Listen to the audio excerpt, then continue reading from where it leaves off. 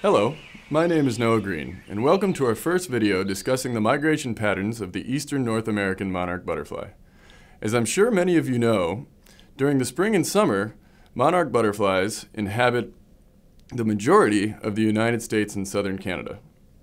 What you may not know is there's two distinct populations of these butterflies, the eastern and western North American monarchs. The dividing line of these two populations of monarchs is the Rocky Mountains, with the western population residing on the west of the Rocky Mountains and the eastern population residing on the east during the spring and summer. The western population is much smaller and undergoes a more truncated migration compared to the eastern population. Therefore, we will be concentrating on the eastern population for the majority of this module. In a good year during the summer months, nearly half a billion eastern monarch butterflies reside in the North northern United States and southern Canada. In mid-September, these butterflies begin a journey to their summer from their summer residence to their overwintering grounds in Mexico. A migration of nearly 2,500 miles for some of these butterflies. They complete this migration in less than two months while migrating only during the day. One of the most fascinating aspects of this story is that it is a multi-generational migration from start to finish, with, with butterflies undergoing massive physiological changes within generations as well as between them. The first generation in this migration are those who start in the northern United States and southern Canada and fly all the way to Mexico in a single generation. These butterflies can live up to nine months compared to just a few weeks for butterflies during mating season. These butterflies undergo what is known as reproductive diapause, meaning they will not mate or reproduce during this migration. This period free of mating is one of the reasons they are able to live as long as they do. While this expedition is incredible in itself, it gets even more incredible once they reach their overwintering grounds. The vast majority of monarchs that make this trip end up in one of 12 main sites within a 300 square mile section of the mountains of central Mexico just west of Mexico City. These sites are about two miles high in elevation and contain mostly pine forest.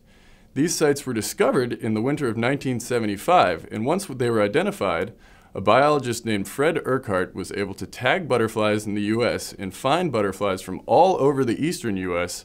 in Mexico during the winter. Therefore, he suggested that these sites were not just the overwintering location for some monarchs, but for the entire eastern population. Once the weather warms and the day length begins to increase in the spring, these butterflies undergo a massive reproductive event in Mexico, and the females begin their migration back north to lay their eggs on milkweed plants in the southern United States and northern Mexico. Keep in mind that these are the same generation of butterflies that migrated all the way south to Mexico and is now undergoing the first leg of their journey back north. Once these females have laid their eggs and finally give in and shuffle off this mortal coil, the next generation of butterflies hatch, eat, pupate, and then breed in the southern United States during the early spring. Once they have mated, they fly far, part of the way back north and lay their eggs in the middle of the country. The next generation once again hatches, eats milkweed, pupates, and mates, and then flies the rest of the way back to their summer living quarters up north, where they reproduce and feed until it's time to move south once more. This migration is one of the wonders of the natural world, and scientists are still not absolutely clear on the genetics behind this multi-generational trip covering a large portion of North America. Unfortunately, there is a number of eastern monarchs that make this migration is steadily decreasing during the past 20 years. In 1997, it was estimated that there was close to 1 billion butterflies in the overwintering grounds in Mexico. That number has dropped to a staggering 50 million in 2013.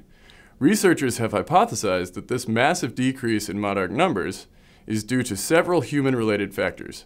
These include deforestation of their overwintering grounds in the mountains of Mexico, the eradication of milkweed plants in the U.S. through the use of herbicides, as well as climate change. Therefore, if we want our children to be able to experience these incredible animals, it is time to start making a change in our emissions, logging, and farming practices to preserve monarchs for generations to come.